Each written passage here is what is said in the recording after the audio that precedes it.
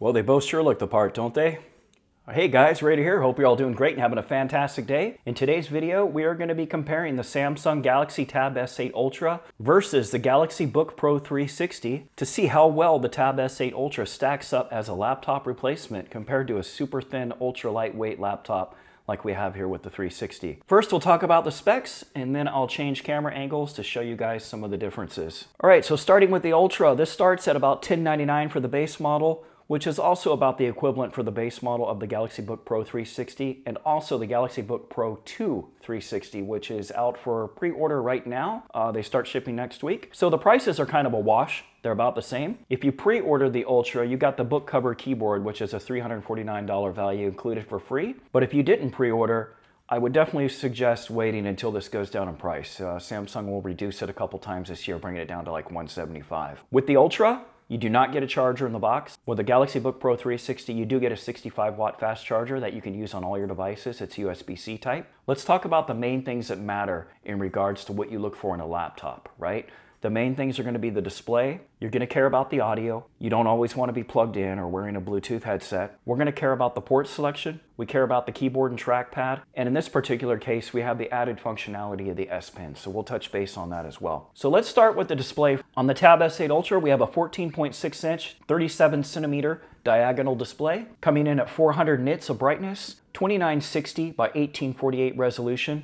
This is a 120 hertz refresh rate panel and this is a 16 by 10 aspect ratio, which is preferred by many for productivity. It gives you a little bit taller screen and a little bit less wide than the 16 by 9 aspect ratio that we have over here on the Galaxy Book Pro 360. On the Galaxy Book Pro 360, we have a 15.6 inch screen, 39.6 centimeters diagonal. This one comes in at about 300 nits of brightness. Its new successor that is coming out next week is coming in at 400 nits of brightness, so it'll be matching the Tab S8 Ultra. The resolution on here is the one gripe for many people, 1920 by 1080. That's right, it's only a full HD display, but we will do a side-by-side -side comparison of the displays. I'll put up a YouTube video you guys can judge for yourself how big a difference that is. This is a 60 hertz panel, it's not 120 hertz. And the reason this is a full HD 60 hertz panel is so that this laptop can meet Intel's EVO certification, which is their certification for getting long battery life and consuming less power. And this one does fall in that realm. Battery life, they're quoting about 21 hours for this one, and they're quoting about eight to nine hours screen on time for this one. You can cut that in half for this, and screen on time has been about seven to eight hours for me on the Ultra. This one, I believe I mentioned earlier is a 16 by 9 aspect ratio, which you're going to find out here shortly actually does have its benefits, so we will talk about that. And the obvious big difference between these two machines is you are running native Windows here and you're running Android over on the Tab S8 Ultra. All right, let's talk about ports. So this is real easy for the Ultra. We have one port really. We have the USB-C port, which also features display over USB-C, which gives us the ability to send our display image out to an external monitor and hook up USB hubs. On the Galaxy Book Pro 360, we have two USB-C ports, one Thunderbolt 4 port, one audio port, and you have one micro SD slot. As far as keyboard and trackpad, on the Tab S8 Ultra, we have a 80 key keyboard with no numpad. We have four levels of backlighting. We have a glass-coated trackpad. We have function lock. And over here on the Galaxy Book Pro 360, we have a full-size keyboard with numpad, four level backlighting, a full glass touchpad, and this is a very wide touchpad as well. And we have function lock with this keypad. Of the two, I'm going to tell you guys straight up before we do the comparison side by side, I definitely prefer the trackpad and the keyboard on the Galaxy Book Pro 360. I think it's miles ahead of this one that you can buy separately for the Tab S8 Ultra. Not that this is a slouch by any means, but this is just far superior. I mean, when you're on this keyboard for an elongated period of time, you can definitely tell the difference between the two. It's just more premium, the clicks feel more responsive, and you have a much larger trackpad to work with. Um, the other thing too, I do notice a trackpad on the Ultra. Sometimes you have to like move it around a little bit to wake it back up. So like if you start doing something else and you go back here to this trackpad, you got to give it the wiggles a little bit in order to wake the whole thing back up. You don't have that issue over here with the Galaxy Book Pro 360. Okay, now let's talk about the S Pen. So they both feature it and they both come with it. You're not gonna have to buy that separately. The S Pen gets stored up here if you have the keyboard cover. It sits behind this flap of the kickstand. And on the Galaxy Book Pro 360, we have nowhere to sit it, but it does magnetize to the outer lid right here, up here in the corner, and it will also stick down here at the bottom edge very tight. Like this magnet right here, ooh, That, that's where to put it. Like when you're using it, just sitting it off to the side, keep your S Pen right there. I mean, it is not going anywhere right there. That is the most magnetized spot on the whole laptop. Some differences between the two. We have 2.8 milliseconds of latency on the S Pen included with the Ultra, but please do keep in mind that that new 2.8 milliseconds of latency is on select Samsung apps currently at this time. The S Pen on the Galaxy Book 360 is 9 milliseconds of latency. The other difference between the two is that we have Bluetooth functionality on the Ultra, which is nice for doing media controls and whatnot, but it doesn't really have much of an impact as far as it being like a laptop replacement, whereas you don't have Bluetooth controls on here. I will say from using them both quite heavily, uh, they're both great. I really like taking notes on both machines. So you see we have the S-Notes applications up on both machines. And what I really like on the 360 is that you get your full color palette, your toolbars, your, your brushes, your brush width, all of that stuff stays pinned on the right hand side because of that 16 by 9 aspect ratio. Uh, you have your writing canvas over to the left, which is still plenty big. However, on the Ultra, you'll see we have what's typical on their phones, and that is you have to click on each one of these items to make a selection you know, it doesn't give you much feedback until you start double clicking it, and then you get into your widths and your colors and all that. So it's a little more clunky of an interface. However, writing on here on this Ultra mm, is just magnificent. It really is. All right, guys, so what I want to do for the rest of this video is we're going to switch off to a couple different camera angles, and I'm going to show you how both of these devices work in real life situations. All right, guys, we're back with a different camera view. So what I want to do is hook up each of these two devices up to a bunch of my computer peripherals to see which one we get a better experience with. I think this is very important for you guys that are wanting to use this as like a desktop replacement or once in a while as a desktop replacement, you know, when the need arises.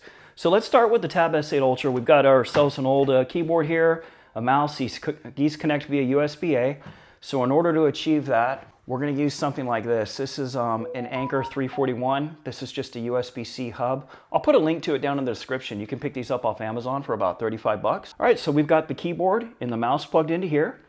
We've got an HDMI out going to my gaming monitor here. That's a 1440p 165 hertz monitor. So we're gonna send the signal out to it and it's gonna plug into the Tab S8 Ultra via this USB-C connection. And there's also pass-through here as well. So if you wanna charge your Ultra while you're using this hub, you can do that. So let's go ahead and plug this in and let's see what the results are like. So let me uh, run this around the back here. I've got it pretty close to the monitor, so it's a little janky for demonstration purposes, but I think you guys get the gist all in the power of science. So let's get this plugged in. Pretty sure the monitor, yep, the light is blinking back there. So let's give it just a minute to figure out that it has something to work with. All right, there you go. Let me go ahead and tilt the screen over to you guys a little bit so you can see it. And let's check the mouse, pull up the dialer app. Hey, there we go. Let's see if we can Alt-Tab out of here. We can. Alt-Tab between our apps. Let's try the gesture controls on the trackpad, see if it still works. Yes, it does. Can we do double gestures? No, it doesn't look like it, likes two mouse clicks at once. So to do the like three finger gestures and whatnot, you're gonna wanna still use the trackpad. Um, one other thing I want you guys to notice, let's pull up something that is going to be bright. Let's pull up this Chrome browser. So you'll see, you'll notice something on the screen, right? That the screen is not taking up the entire monitor. The reason that is, is because this monitor, like most monitors that you buy for your desktop PCs, is a 16 by 9 monitor, whereas the resolution being spit out from the Tab S8 Ultra is 16 by 10. So we do get vertical black bars on the left and right. So for the, those of you that like to use DeX, um, I'm a big fan of DeX. I'm going to put a link in the description to an app that's just now coming out that's going to allow you to spread your DeX workspace across multiple monitors. It starts with an H, I just forget the name of it, but I will drop it down in the description. All right, we've got the Galaxy Book Pro 360 here. We got the tab moved out of the way. So same deal, we've got the USB-C hub sitting back here somewhere. All right, so we got it out from behind that mess. Same deal, we've got the keyboard and the mouse hooked up to it.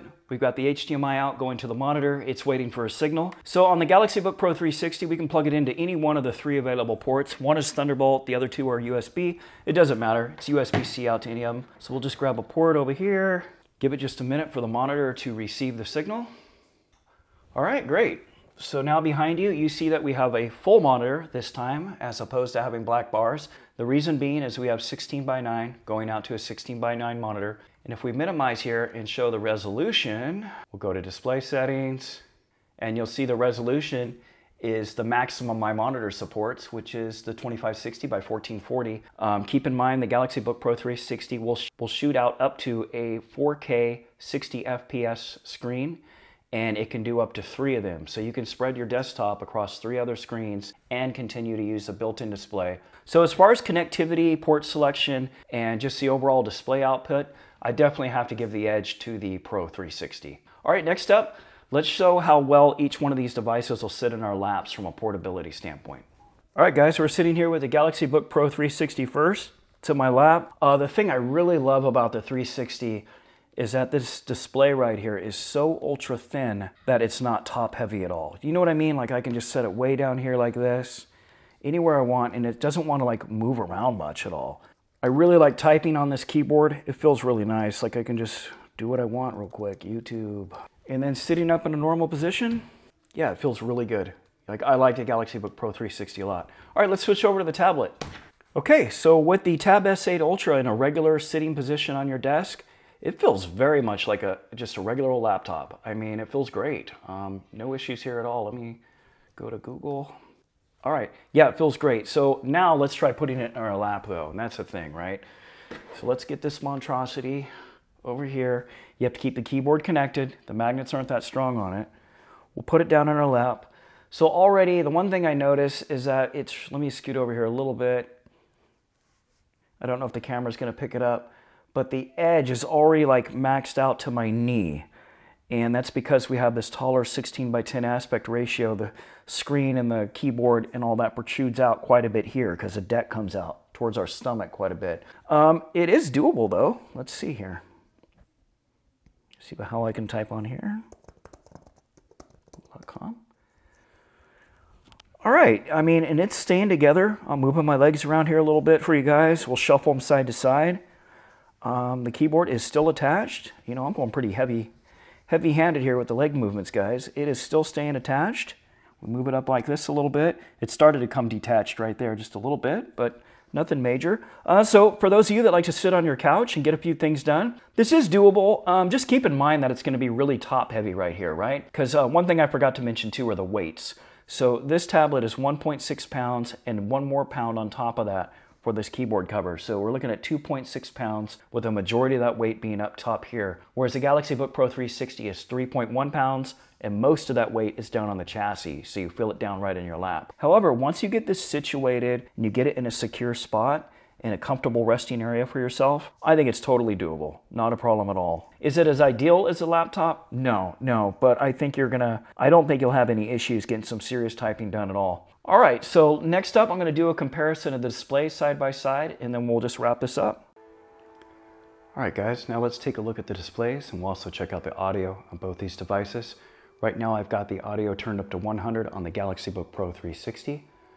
Uh, we have two royalty-free YouTube videos playing, same video on each device. You'll notice that on the Galaxy Book Pro 360, it takes up a whole screen because that's a 16 by 9 aspect ratio, whereas we have 16 by 10. And now we have an ad. Now the ad's gone. This is 16 by 10, so you notice we have little black bars at the top and bottom. We can get rid of them though in YouTube by zooming in. I'll go ahead and do that now so you guys can get a comparison of the full screen view. Right, now I'm going to go ahead and mute the audio on the Galaxy Book Pro 360 and we'll crank it up on the Tab S8 Ultra now.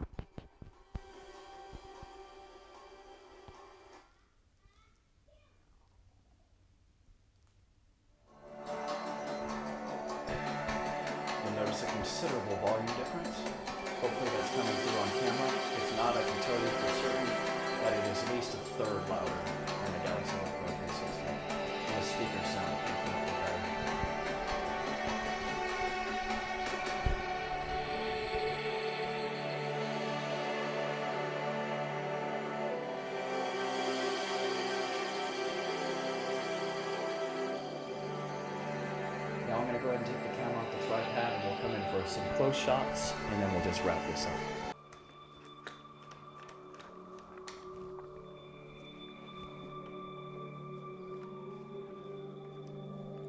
Right, here we are getting close on the Tab S8 Ultra. Just take a look at the pixelization. Get a good idea what you're looking at here.